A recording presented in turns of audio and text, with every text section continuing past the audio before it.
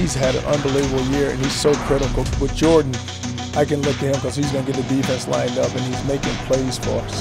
He can run, he can hit, he's very explosive. You know, he, he's a very talented player.